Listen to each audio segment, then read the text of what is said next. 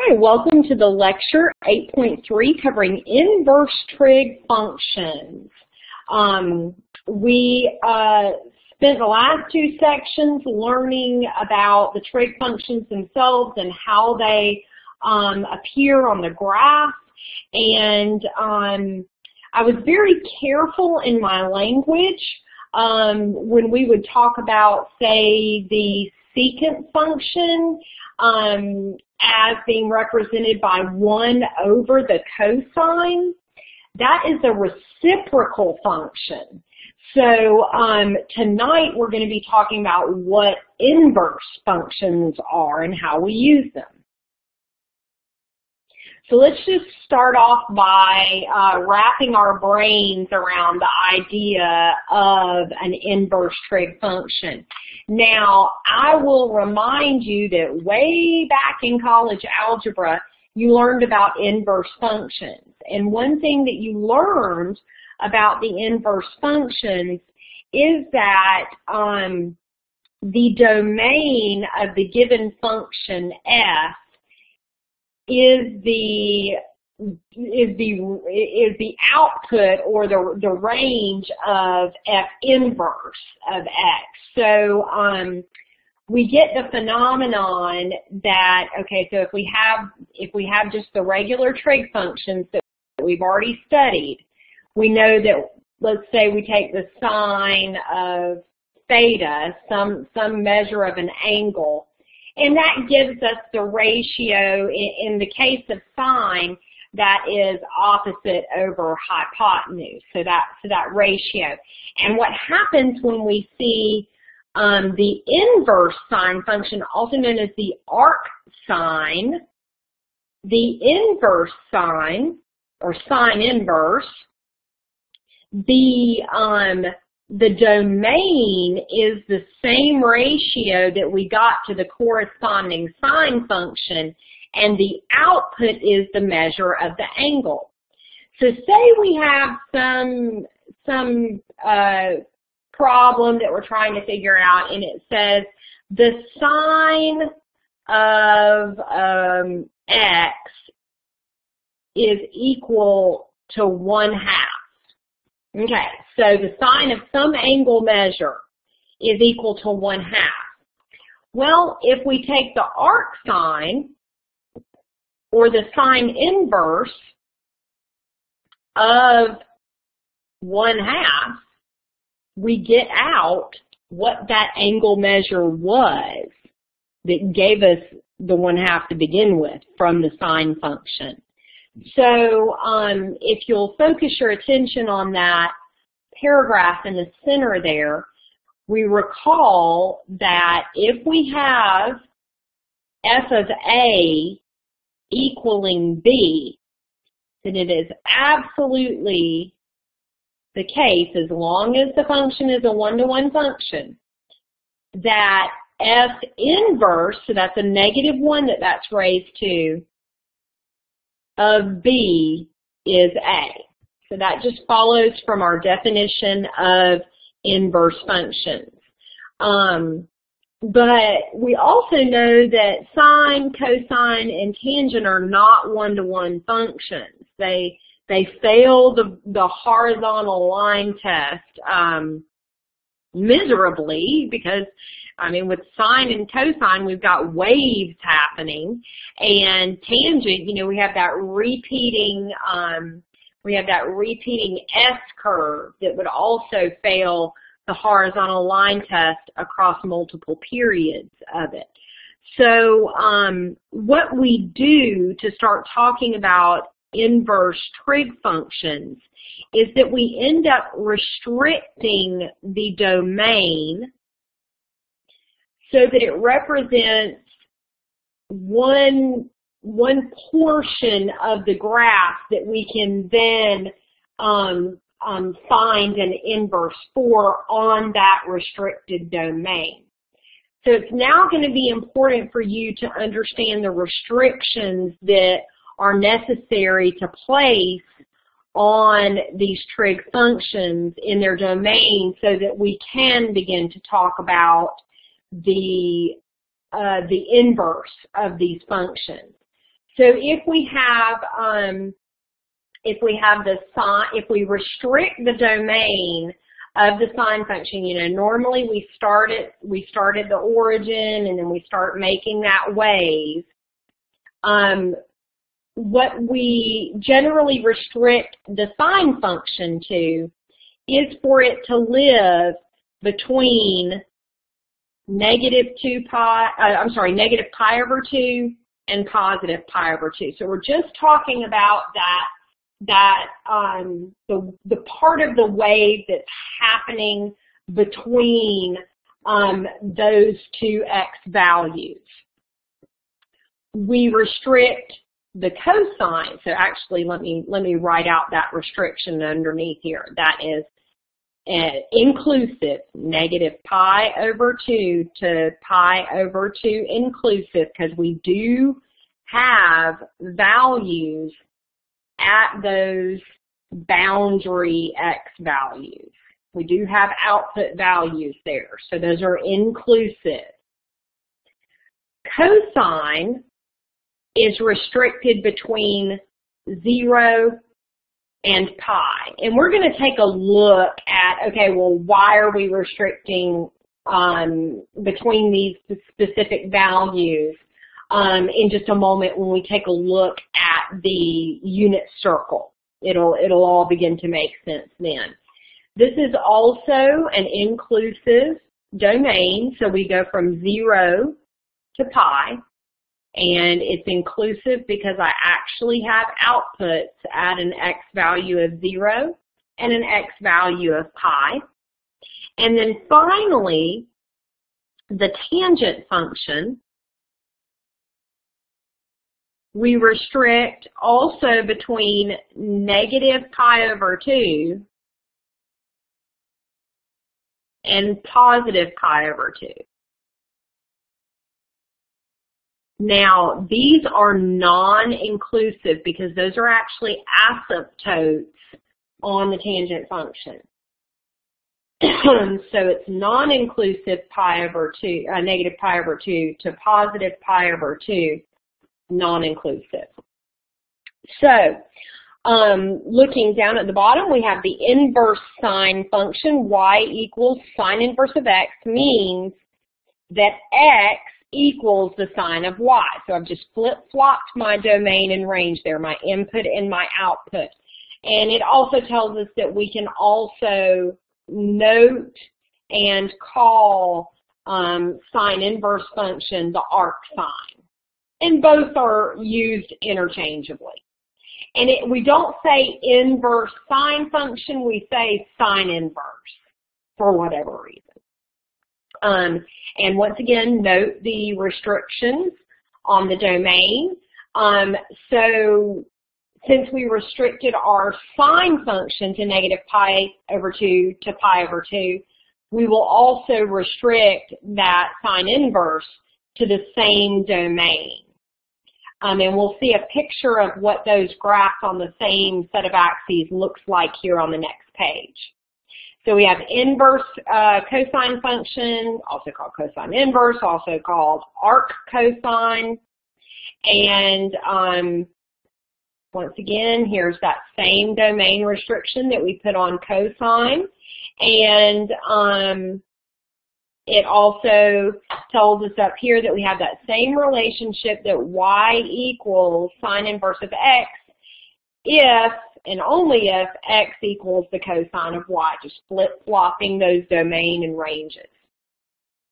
And finally, we have the inverse tangent function, same flip-flop of the domain and range, same domain restrictions that we are placing on the tangent function between those asymptotes.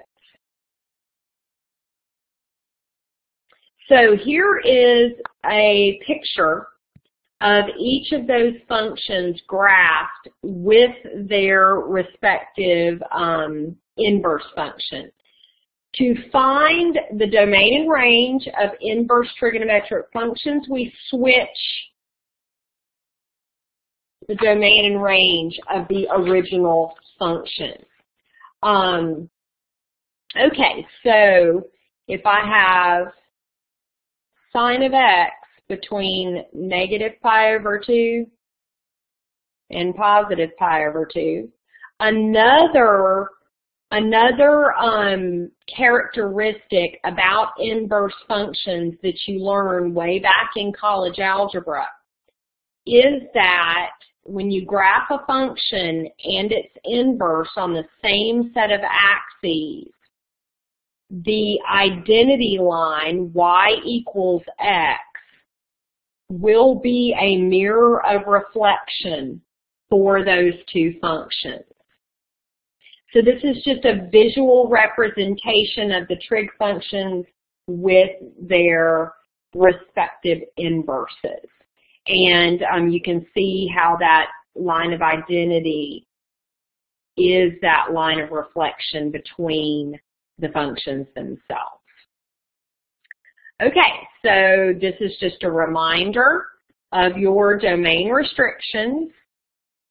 And um, now we're going to see if we actually understand that definition. So this next part is super simple, but it, it, really does help you know that you know that you understand about flipping that domain in the range. So if I have the sine of 5 pi over 12, and that is approximately 0.96593. the um, relation based on this function here of the inverse sine would be sine inverse of 0.96593 equal to 5 pi over 12. So you can see how this would be useful if perhaps you didn't know what angle gave you that particular sine in radians. Allie. And I see you're typing something.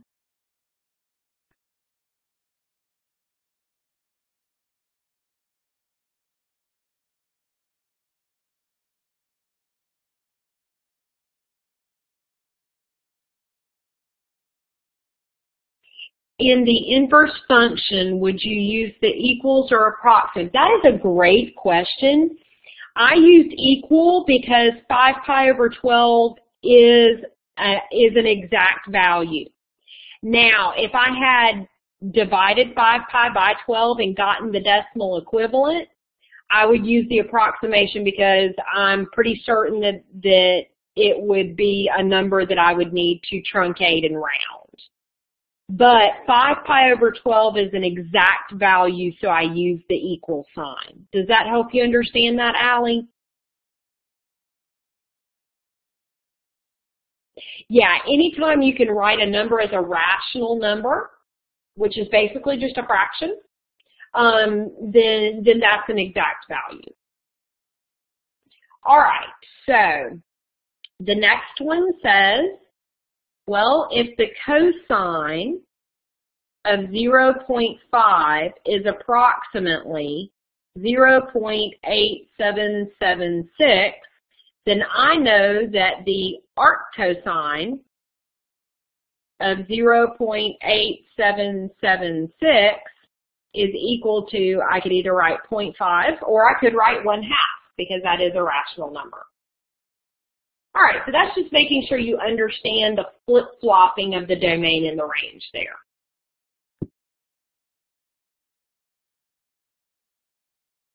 Okay, so now getting into the real business here. Um, finding an exact value of expressions involving the inverse sine, cosine, and tangent functions. So if you're given one of the special values that we love to work with, the ones that are sitting on the unit circle for us. We're given a special input value um, to evaluate the inverse trig function. You want to find that angle x. Um, so we've got them listed all the way around the circle, pi over 6, pi over 4, pi over 3. Those are our angle measures in radians. Um, which the original trig function has an output equal to the given input for the inverse trig function. If x is not in the defined range of the inverse, and this is important, we have to remember what those restrictions on the domain are because they're gonna, sometimes they're gonna, we're gonna be asked to find um, something that lies outside that domain. What we do is we find another angle that gives the same result that does lie in the restricted domain. So I'll just remind you of those domain restrictions. For sine of x, we restrict the domain to negative pi over 2, pi over 2. So before we move forward, let's talk about what that means. Basically, on our unit circle down there, when we take the sine of x or the or the arc sine, we are restricting ourselves Okay, so here's pi over 2 up here, and here's negative pi over 2 down here. We're restricting ourselves to this side of the unit circle for our for our values that we're that we're looking for. So let me stop and just say, does that does that make sense to you? Okay. For cosine. We have the restriction from 0 to pi. So for cosine, we can start at 0, we end at pi. This is where we're looking at for cosine. I'll, I'll color code this for us.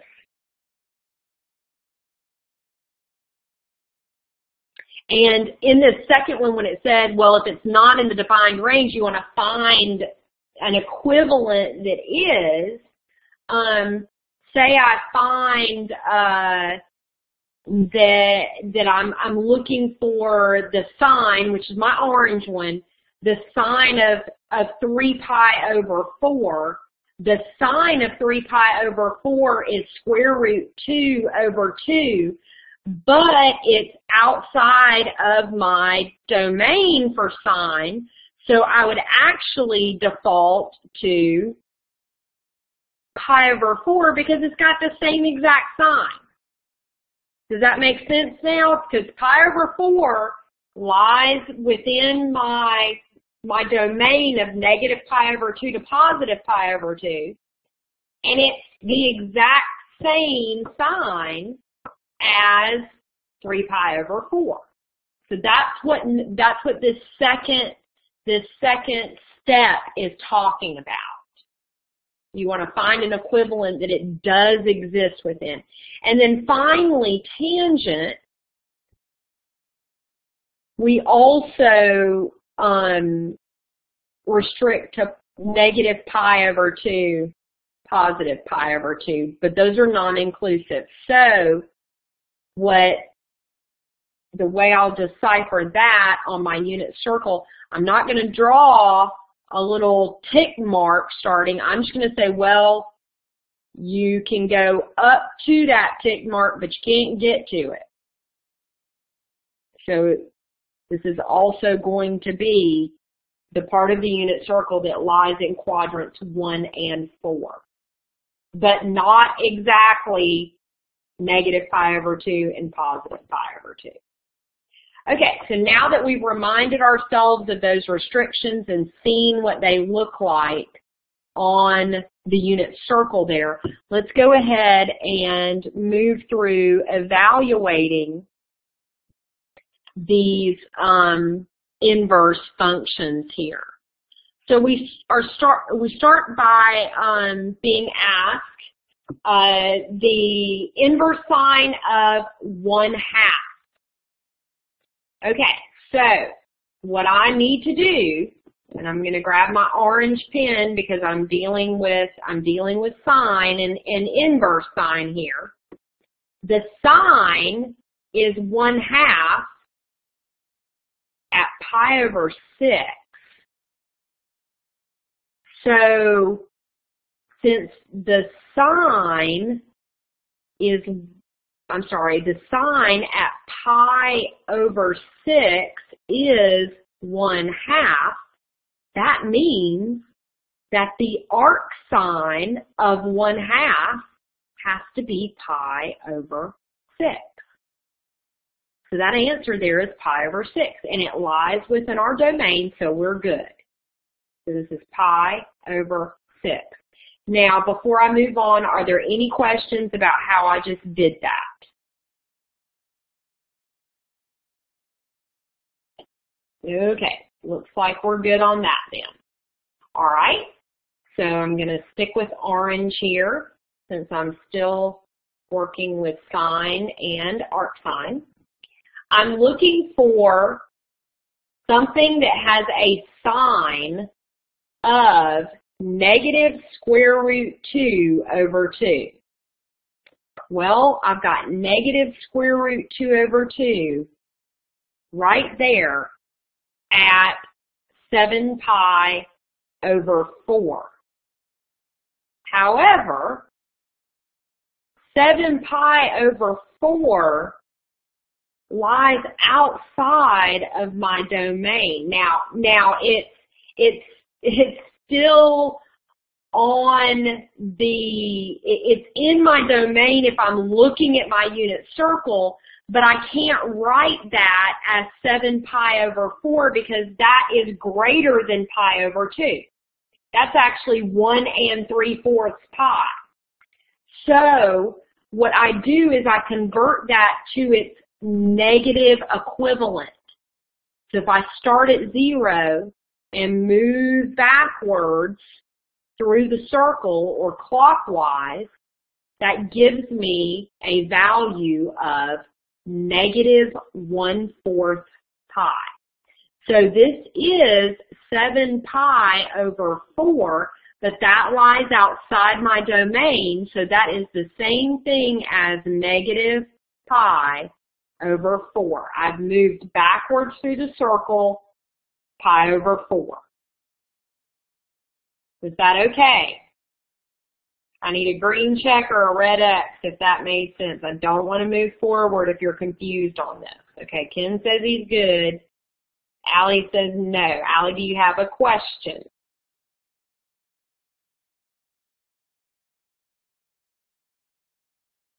Oh, Allie says yes. you just clicked the wrong one.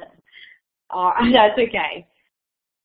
All right, now let's move on to one with cosine. So the arc cosine of negative square root 3 over 2. Now I'm looking for x values. Remember, cosine is my x, sine is my y. So the arc cosine negative square root 3 over 2, I have an x value of negative square root 3 over 2 at 5 pi over 6. Now, 5 pi over 6 is still within the domain restriction of 0 to pi. I'd have to have 6 pi over 6 to have one full pi. So that's a little less than a full pi, so I'm good with my domain restriction. So this is 5 pi over 6. And finally, the tangent, let me remind you, the tangent is equal to the sine over the cosine. So I'm looking for a ratio of the y value over the x value that equals 1 that is within the domain of the tangent function. So right here, at pi over 4, if I divide positive square root 2 over 2 by positive square root 2 over 2, I'm going to get positive 1. So the arctangent of 1 is pi over 4. Okay, we have a couple more to look, or few more to look at on the right-hand side there. The arc sine of negative 1. So I'm looking for a y value of negative 1. And that happens at 3 pi over 2, but that lies outside my domain restrictions. So I need to write it as its negative angle value, and that equivalent is negative pi over 2. I moved backwards 1 half pi through the circle. Okay, tangent inverse of negative 1. Once again, I'm looking for that ratio y divided by x that gives me negative 1 within the domain of tangent. So I'm looking for my the absolute value of my x and my y to be the same, but one to have a positive uh, sign and one to be negative. And I find that that lives at 7 pi over 4. That is outside of my restricted domain, so I write this as negative pi over 4. Cosine of negative 1, this is where the x value is negative 1, and we can see that happens right at pi, and that lives in my domain. And then finally, arc cosine of 1 half. So my cosine is 1 half at pi over 3. Okay, are y'all good to move forward from here? Okay, all right.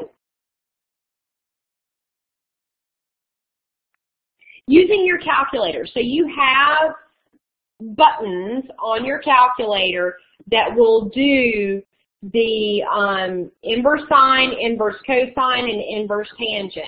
Your button, uh, if you have a TI-83 or 84, you're going to see, well, this, I'm sorry, this is supposed to be an, an exponent there. That should look like sine inverse. Um, this is the notation you're going to see, and it is the second function on your sine, cosine, tangent button. So that's how you use your calculator. And um, just about from here on out, and when I say on out, I'm talking all the way through calculus, you're going to be using radians instead of degrees. So you'll definitely want to make sure that your calculator is in radian mode here. So if I want to evaluate the arc sine of 0.97. In my calculator, I just do second and sine. That gives me the arc sine, 0.97, close my parenthesis, hit enter, and I get that the arc sine of 0.97 is approximately 1.325. I'll take it out to the fourth decimal, decimal place. Okay, um, Allie and Ken, y'all try that on your calculator and let me know if you get the same thing. Just give me a green check if that's what you get on your calculator when you do it. Okay, great. Everybody got it. All right, give the arc cosine of negative 0.4 a try. And type into the chat window what you end up getting and, and go out to the fourth decimal point.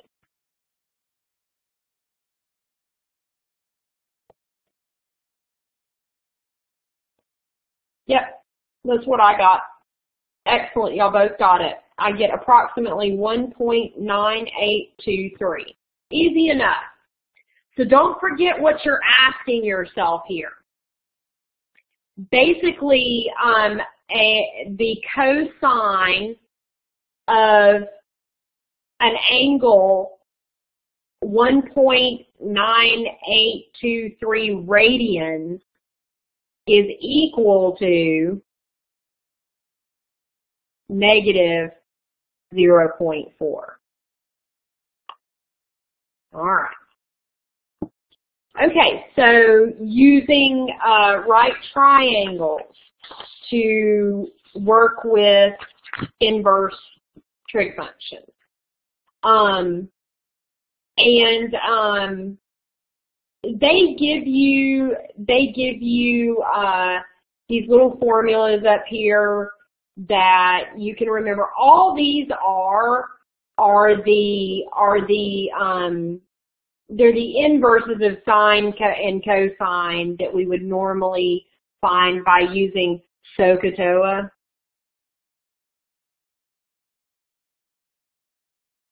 So let me just label this triangle up top a little bigger so you can see it. They're calling this side P.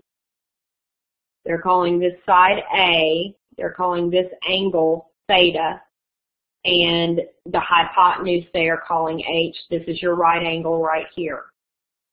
So if I have the sine of theta, sine is opposite, which is p, over the hypotenuse, h. So if you look here, the arc sine of p over h will give me theta.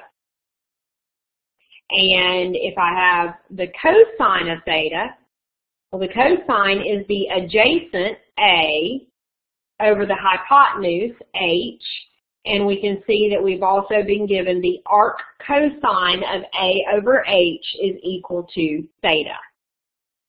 So this will help you, say, say you're given a triangle and you're asked to solve the triangle. Well, we know solving the triangle is giving the, the value of the length of all sides of the triangle and giving the measurement of all of the angles of the triangle as well. So this is how we're going to use this stuff with solving triangles. So the first thing I want to do is find the missing side because I know I can just use the Pythagorean theorem to find the missing side. So um, the Pythagorean theorem, um, I'll use x's and y's. We'll call we'll call this side x that runs horizontally and this side y, um, and this will just be the hypotenuse. So our Pythagorean theorem says x squared plus y squared equal to h squared. a squared plus b squared equals c squared. Uh, we've also seen the Pythagorean theorem written as sine squared plus cosine squared equals 1 if we're talking about the unit circle, um, which we'll come back to that version of the Pythagorean theorem in a moment. Um, but we'll just use x's and y's and h's here. So I have 9 squared plus y squared equals 12 squared. 81 plus y squared equal to 144 is y squared is equal to 144 minus 81, which gives me 63. And um,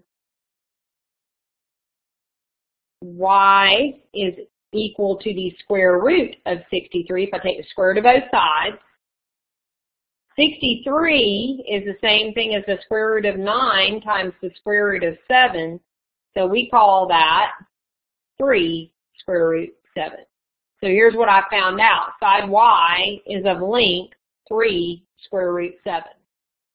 Now I'm ready to work on the angles on the inside. Well, I'm given, I don't really want to work with 3 square root 7. That, that just does not feel like a nice, neat number to me. What I do have that's nice and neat is the adjacent side to my angle theta and the hypotenuse for my triangle. Well, if I look up here, cosine relates the adjacent side and the hypotenuse. So if I have that my cosine of theta is equal to the ratio of the adjacent side to the hypotenuse, I've got the cosine of theta is equal to 9 twelfths. Well, if I want to know what theta is, I simply take the arc cosine of 9 twelfths, and that gives me theta. So what is theta equal to? Well, this is when I go to my calculator. I do second and cosine, it gives me the arc cosine, and then 9 divided by 12. And I get that theta is approximately 0.7227.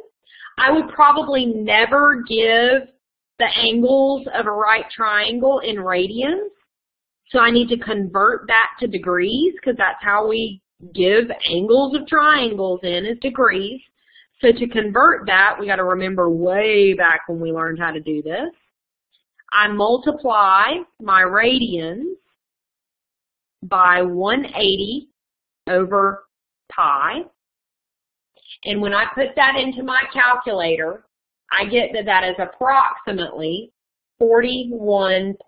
41.41 degrees. So I've now found out that theta is 41.41 degrees. And then I just subtract that from 90 degrees because I know this is 90. I know the interior angles of a triangle add up to 180. So the other two angles have to be equal to 90 together. And so I just subtract the 41.41 from 90, and I get the other angle is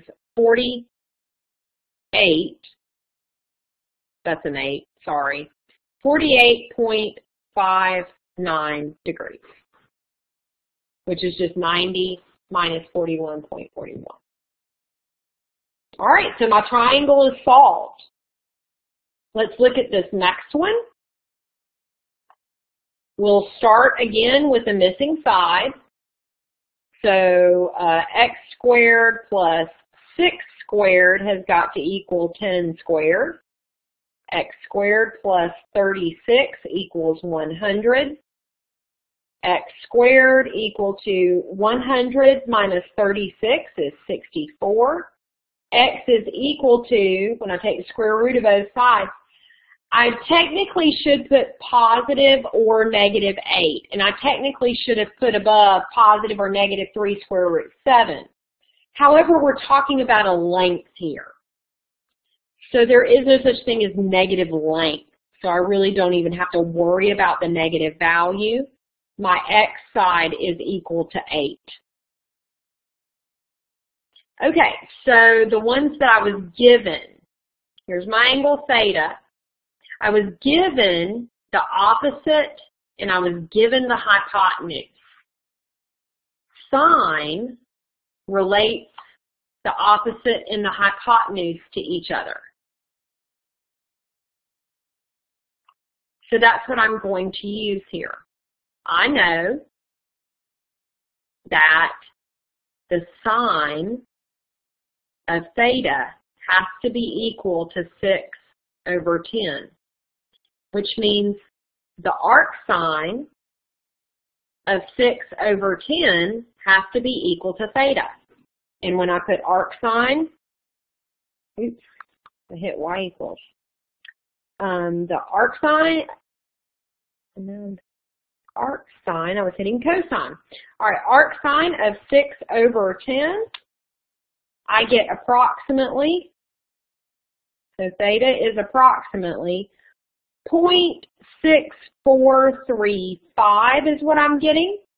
And I want to convert that to degrees, 0.6435 times 180 over pi. And I get that that is approximately 36.87 degrees. That means theta here is 36.87 degrees. And when I subtract that from 90, I get that this other angle is 53.13 degrees. All right, any questions of solving right triangles where all you're given is two sides and you have to use the inverse function to find the missing angles? Any questions about that? Okay, green check if you're ready to move forward from here. Ken says yes. Allie says yes. Awesome.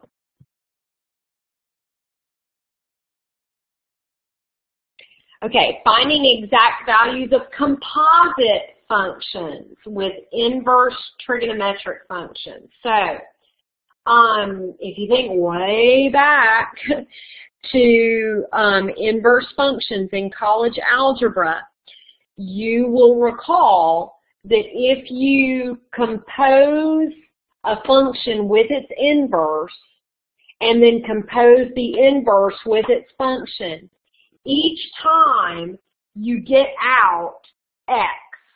In this case, they're saying Y. But, um, so that's what this is showing you here, is that if you compose a function with its inverse,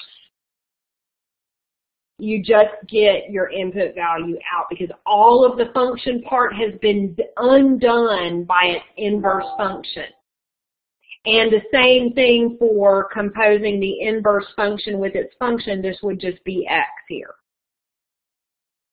Okay, so that's what all of this is saying to you down here.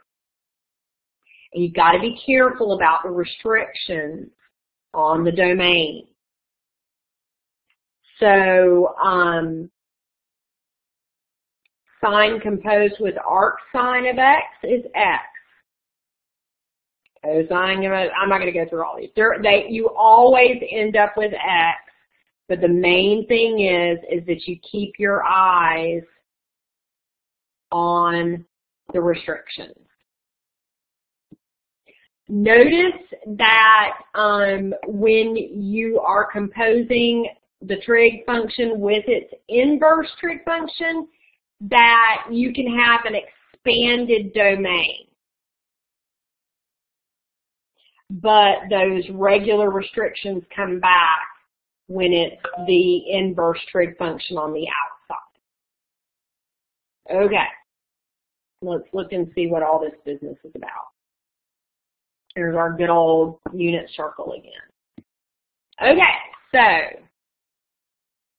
evaluate the following. So all that, all that at the top is telling you is the same thing we just talked about. If you, if you um, compose the inverse with its function, you get out um, theta itself.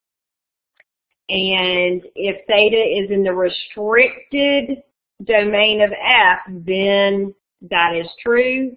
If it's not in there, then you've got to find another angle that is equivalent to it that does live in the restricted domain. Okay. So the inverse sine of the composed with the sine of pi over 3. Well, pi over 3 lives in our restricted domain of negative pi over 2 to positive pi over 2. So the uh, arc sine composed with the sine of pi over 3 is simply pi over 3. Okay? The arc sine composed with the sine of 2 pi over 3 well, it would be 2 pi over 3, except that 2 pi over 3 does not live in our restricted domain of negative pi to pi. 2 pi over 3 is over here. Okay? So what we have to do is say, okay, well, the sine of 2 pi over 3 Remember that is that's talking about the y value of that point. The sine of 2 pi over 3 is the exact same thing as the sine of pi over 3, except pi over 3 lives in my domain. So this is the same thing as the sine of pi over 3. So the arc sine composed with the sine of 2 pi over 3 is equal to pi over 3. Okay, green check if that one made sense to you. Yes. Ken, how about you? Yes. I'm glad I haven't confused the heck out of y'all tonight. Okay, remember cosine, let me get a different color here. Cosine goes from 0 to pi in its restricted domain. So the arc cosine composed with the cosine of 2 pi over 3, well the cosine of 2 pi over 3 is negative 1 half. It, it lives in my domain, so I don't need to do any switcheroo, so that's just 2 pi over 3. I was confused for a second, but it came together. Okay, good, good. And this next one lives outside, so we'll have another example of um, having to do the switcheroo. So if we look, the cosine of negative pi over 3, that the negative pi over 3, that's moving backwards through the circle one third pi. That puts me here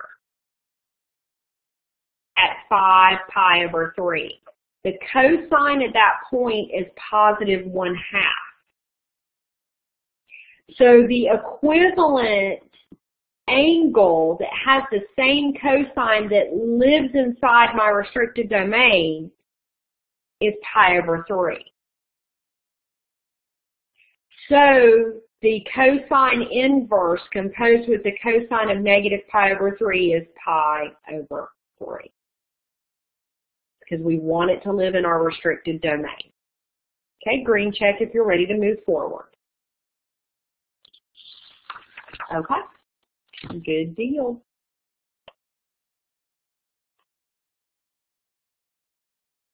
All right, evaluating compositions of the form F inverse of G of X.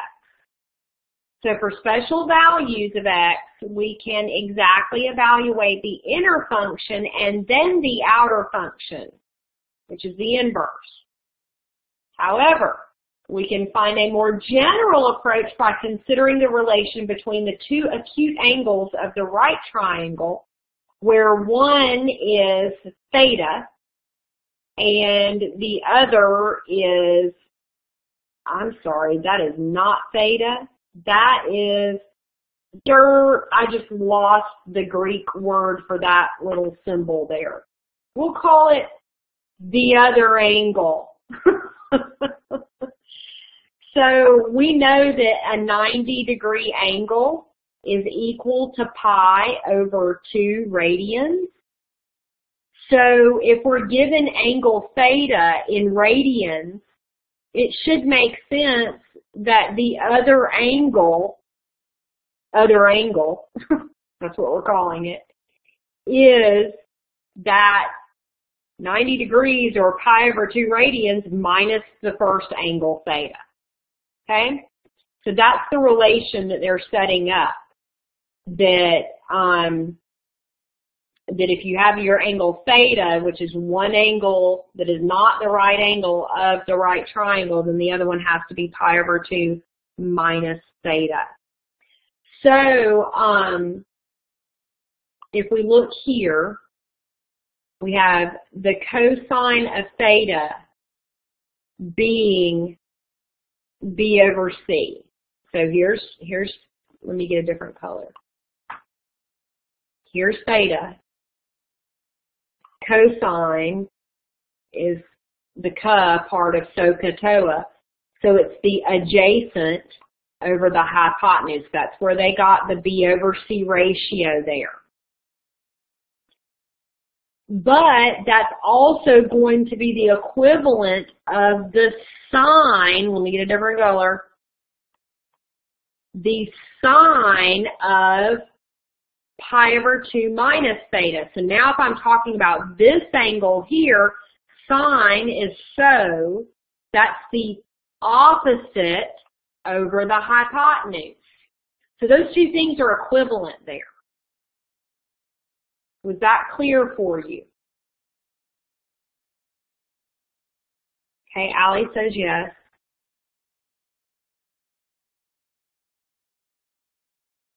Okay, good deal. And um, so um, that that's one way that we work with this, and and I'll just point out the other the other um, relationships that we get. So if we take the arc sine of the cosine of theta, we end up getting pi over 2 minus theta, that other angle. And um, we also have the sine of theta equaling a over c, which is the same thing as the cosine of pi over 2 minus theta. And if we take the arc cosine of the sine of theta, we get pi over 2 minus theta. Okay, and then down here, this is just kind of codified everything for us. We'll use all this stuff on the next page. Okay, so we are asked to evaluate sine inverse of the cosine of 13 pi over 6. Well, I know right off the bat that 13 pi over 6 lies outside of my restricted domain. 13 pi over 6, let's see, 13 pi over 6 is the same exact thing as 12 pi over 6 plus pi over 6, which is 2 pi plus pi over 6. Well, if I start out at pi over 6, and I go around the circle to pi, I land right back at pi over 6. So I could just as easily change this to taking the sine inverse of the cosine of pi over 6. And now I live inside the domain that I've been restricted to. Let me stop there and make sure that that part made sense to you. Okay, good deal. All right, so they ask us to do this two different ways. Direct evaluation is what I've started doing here. So let me just label this. I'm literally starting with the inside function and I'm going to evaluate pi, the cosine of pi over 6. So this is direct here. Okay, so the cosine, so I've still got the sine inverse of. The cosine of pi over 6 is equal to, okay, so pi over 6, cosine is my x value. That is equal to square root 3 over 2. And the arc sine of square root 3 over 2. Okay, so that's asking, okay, when my y value is square root 3 over 2, and it's my y value because now I'm talking about sine. When my y value is square root 3 over 2, what angle am I at? I am at pi over 3. So that's direct evaluation. We can use the method that we learned on the last page that says, so I'm just going to put, well, let me get a different color.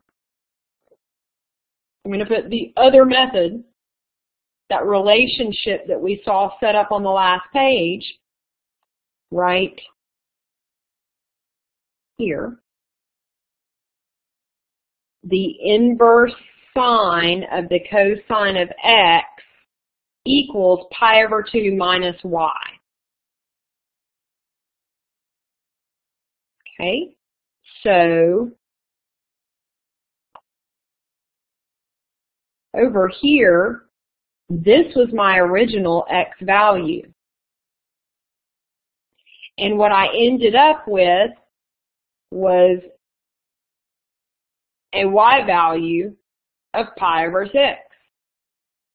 So, to set up that relationship, I have that the sine inverse of the cosine of 13 pi over 6 is equal to pi over 2 minus that leftover, pi over 6. So I have to find a common denominator to put those together. So I'm going to multiply pi over 2 by 3 over 3 to get a 6 in the denominator. That is 3 pi over 6 minus pi over 6. That leaves me with 2 pi over 6. I have a common factor of 2. 2 goes into 2 once and into 6 three times. And that leaves me with the same thing I found above, pi over 3. Okay, let's take a look at the arc cosine of the sine of negative 11 pi over 4.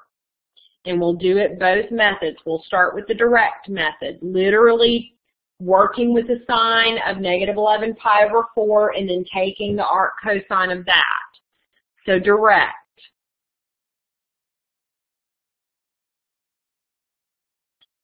I start out with the cosine, oh, negative 11 pi over 4 lies outside of my restricted domain. Okay, negative 11 pi over 4.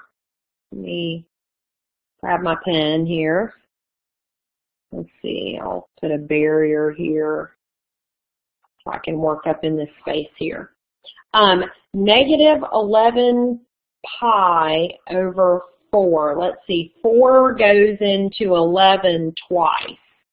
So that's the same exact thing as negative 8 pi over 4 um, minus 3 pi over 4, which is the same thing as negative 2 pi minus 3 pi over 4 negative 3 pi over 4. I'm taking the sine of that. Okay, so negative 3 pi over 4. Here is, let me get a lighter color. Okay, so here's negative 1, 4, 1 pi over 4, negative 2 pi over 4, negative 3 pi over 4. Negative 3 pi over 4 is still outside my domain there. So um, that is the equivalent of 5 pi over 4. So that that's where that's where I'm going to start with finding that inside sine because I don't want to deal with negative 11 pi over 4. So I'm going to start with my inside let me change away from the yellow. So I have the arc sine the sine of negative 11 pi over 4 is the same thing as the sine of 5 pi over 4.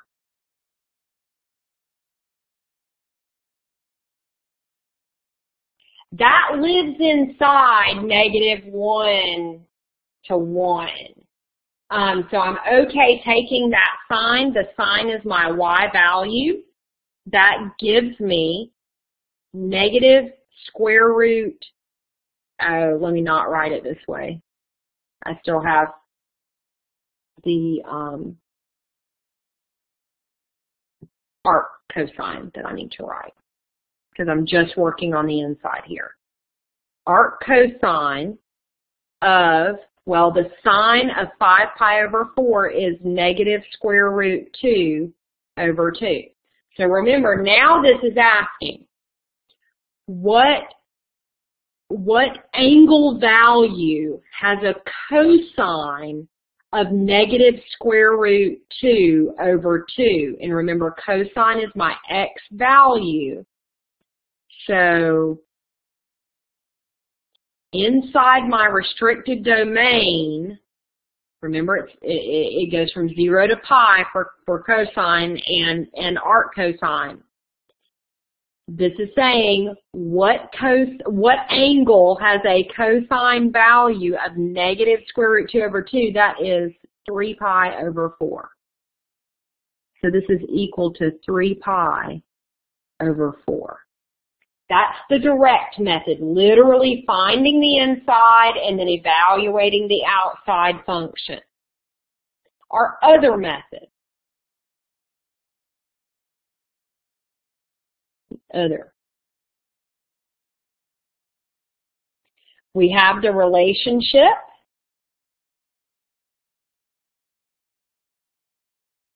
Let me go back one. Of this relationship here.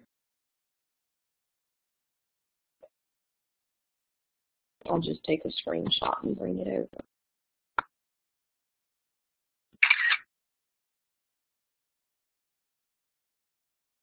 Marvels of modern technology here. There we go. There's the relationship. Okay, so um, remember my original x value is negative 11 pi over 4. My original x is negative 11 pi over 4, and my y value ended up being 3 pi over 4. I'm sorry, negative 3 pi over 4. Where did I do that? Right here. Negative 3 pi over 4. Okay, so I'm going to go ahead and set that relationship up. I have that the cosine inverse of the sine of negative 11 pi over 4 is equal to pi over 2 minus negative 3 pi over 4. Remember, minus a negative is a plus, and I need to find a common denominator, so I'm going to multiply by 2 over 2 there to create 4 in my denominator. So 2 pi over 4 plus 3 pi over 4 gives me 5 pi over 4. That lies outside my domain there, 5 pi over 4, with cosine, and we found that the equivalent to that was 3 pi over 4. So this is equal to 3 pi over 4 with it living in the restricted domain. Okay, green check if you're ready to move forward. And we did go over an hour. I'm sorry. We have a little bit left to go. I didn't think it was going to take us this long to get through.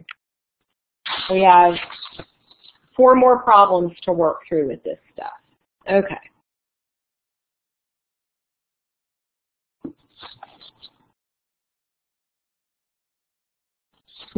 Six more problems work. Goodness. Okay, so this last part, and this last part all has to do with the same thing. I'm going to do a couple of them using a longer method, and um, then I will use the the quickie cheat method that that we're given in the paragraph above. All of this next step is based on the Pythagorean identity sine squared of x plus cosine squared of x equals 1. And I will also write that in another form for you, and we did this in an earlier lesson. Sine squared um, x plus cosine squared x equals 1. And if I come and I divide everything by the cosine squared of x, I end up getting that first term sine squared of x over cosine squared of x. That's tangent squared x plus cosine squared of x divided by cosine squared of x is 1 equals 1 over the cosine squared of x, which is the secant of secant squared of x, but I'm just going to leave it leave it like that for right now. Okay, so let's look at this first one. Um, and what we're told is it, when we when we solve for this Pythagorean identity, we end up getting that the sine of the cosine inverse of x is equal to the square root of 1 minus x squared. So just real quick, x squared plus y squared equals 1. If I subtract x squared from both sides, I get y squared equals 1 minus x squared. Divide, I'm sorry, I take the square root of both sides, I get y equals the square root of 1 minus x squared. That's where that came from. Okay.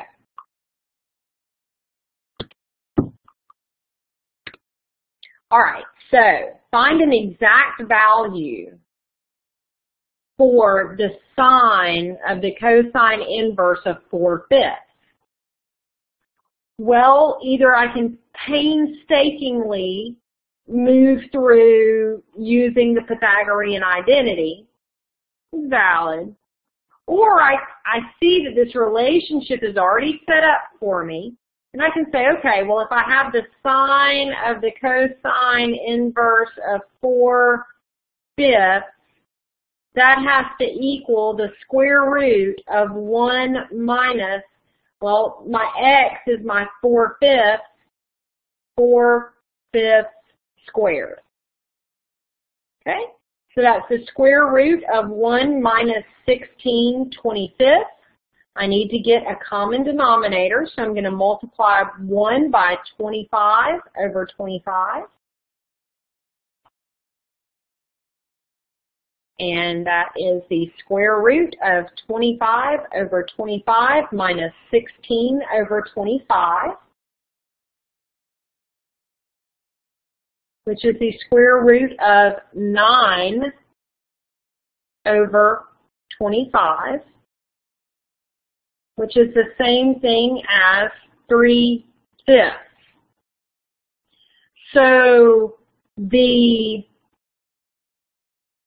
sine of theta, if I'm calling the cosine inverse of 4 fifths theta, the sine of theta is 3 fifths. And that's my answer the cosine of theta is 4 fifths. I get that from here. This tells me that the cosine of theta is 4 fifths.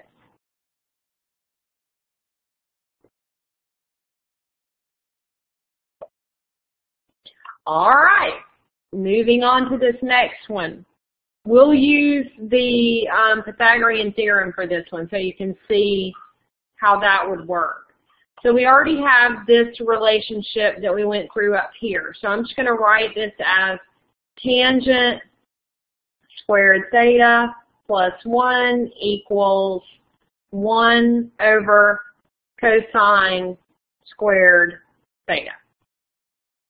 And um, I know that the tangent of theta is equal to 5 twelfths. I get that from, from uh, my arc tangent of 5 twelfths.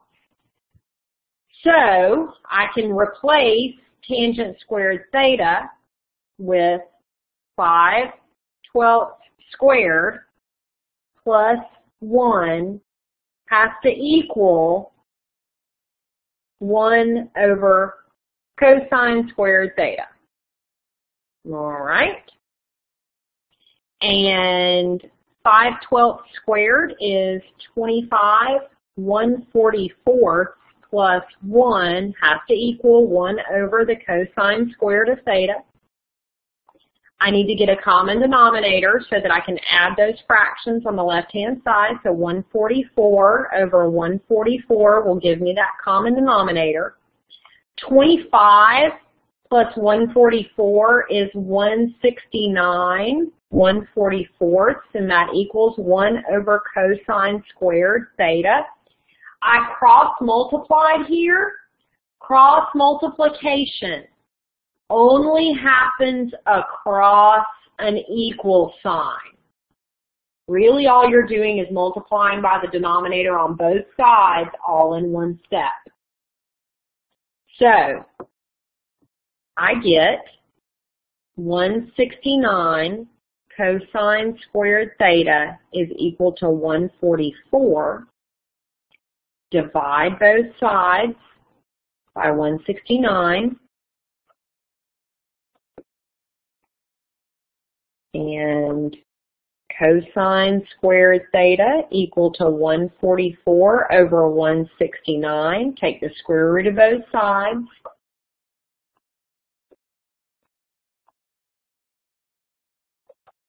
And I get the cosine of theta is equal to 12 thirteenths. Okay, green checker, red X. Okay, okay. I appreciate y'all hanging in here so late on this. I think it's important to see all of these though because they all have little differences with them. Okay, so in this particular problem, we have that the tangent of theta is equal to 7 fourths. We also know that the tangent of theta is equal to the adjacent no, I'm sorry, the opposite over adjacent.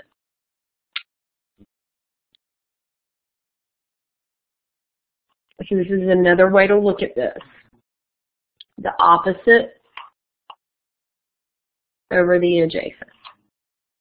If I have a right triangle,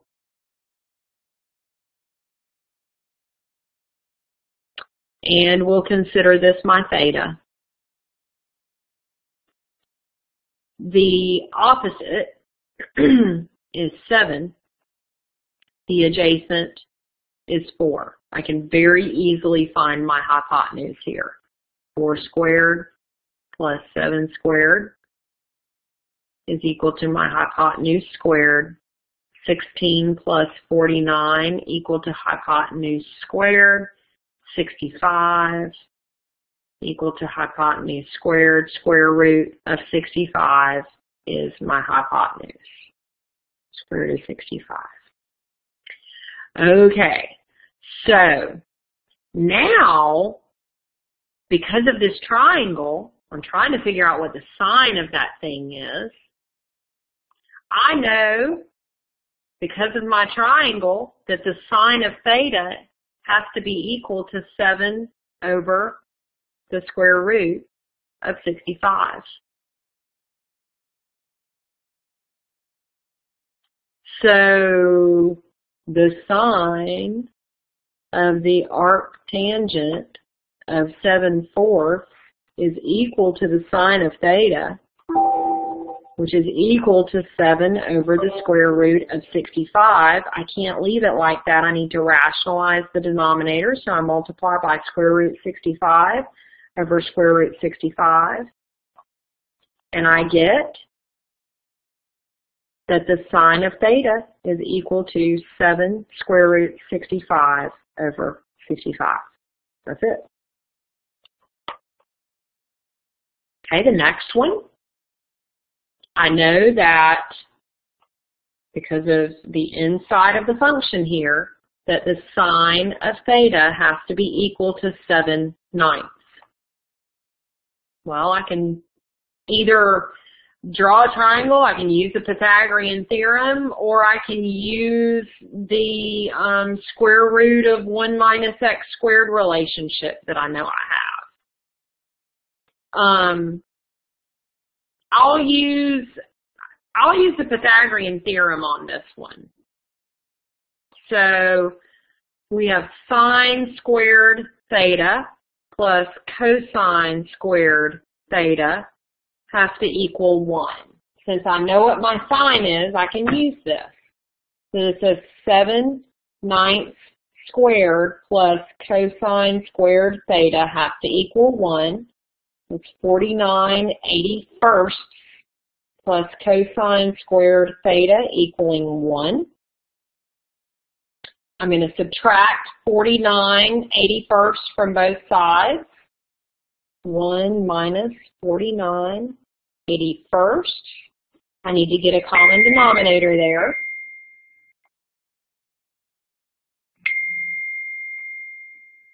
And I get cosine squared theta equal to 81 80 over 81 minus 49 over 81.